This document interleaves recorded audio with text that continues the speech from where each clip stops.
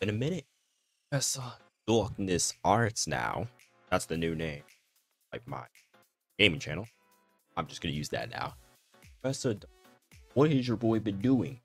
Where the hell have I been? Two months? But that'll be no, that's crazy. But here to explain. Not only I was working on my gaming channel, but I was also uh a little bit of a burnout, a little bit of a slump when it came to art. I was practicing. I blind, I like blindly forgot the reason I liked first place. What was the reason why I even liked drawing in them? So that kind of contributed to me not really drawing that much like I'm supposed to this year, or like not really this year, but well, yeah, I can say this year. Not the quality, not even just the quality. It's like the I wanted to draw. I got sketches and stuff, and incomplete illustrations. That's it. That's all it. But that is going to change today with this, the help of an app called Milanote that I'm not sponsored by. So this, this is my art board. And as you can see on your screen, I have a whole bunch of art goals that I have plans to pretty much complete, pretty much complete throughout the whole, my whole journey to the beginning, whole journey. So I have a plan board where in here I have gestures, perspective, construction, anatomy, stuff. And then like I have right up here where it says write at least for one hour every other day because I am also writing a story. Uh, we got anatomy, dynamic posing, improving overall character design, and then drawing OCs and more dynamic illustrations. Then obviously writing my last chapters of Soul Warrior, which is a story that I'm working on. But best part about this board is you really get to see the vastness of what you can do. So I have pretty much what I have made. Air designs, pretty much all OCs, right? What I've seen. But if we F side, this is pretty much my side of what I inspire to create.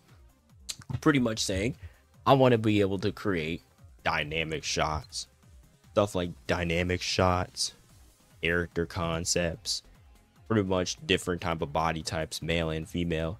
You get the gist. You get the gist. The manga action scenes, the dynamic posing like this was very. You can just see it, just, mm, just see it stuff like this as well. Like you, you guys get it. I think you guys get of where I'm going.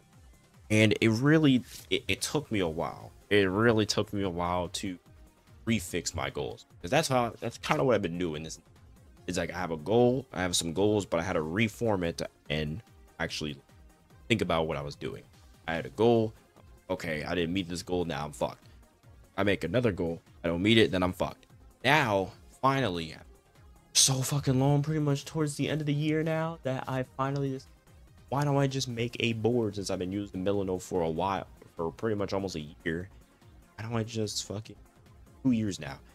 Why don't I just fucking make a board where I have my art goals in the middle, all the stuff that inspires me, and then obviously the stuff that I, I have made currently that I can improve on. That's when I made that board, so.